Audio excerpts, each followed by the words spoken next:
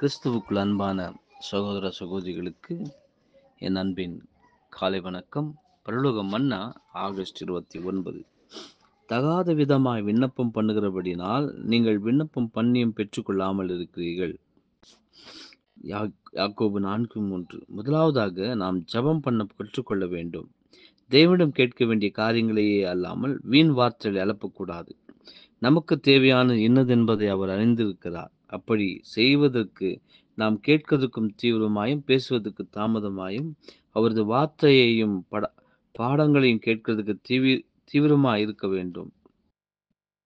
நாம் நமது சொந்த சித்தத்தின்படி விண்ணப்பம் பண்ணாமல் பிதாவின் சித்தத்தின்படி செய்வதே கிறிஸ்துவின் குணலட்சமாகும். இதுவே நாம் செய்யத்தக்க புத்தியுள்ள ஆராதனை. நீதிமான் ஜெபம் கேட்கப்பட்டு பதிலளிக்கப்படுகிறது. ஒன்று ராஜாக்கள் மூன்று பதினெட்டு எட்டிலிருந்து பதினான்கு வரை. என்பதே. ஆமேன்.